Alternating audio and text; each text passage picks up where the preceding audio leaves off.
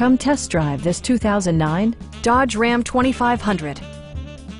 It features an automatic transmission, four-wheel drive, and a refined six-cylinder engine. The following features are included.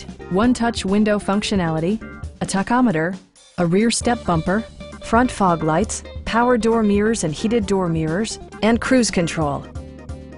Dodge ensures the safety and security of its passengers with equipment such as dual front impact airbags, a panic alarm, and four-wheel disc brakes with ABS.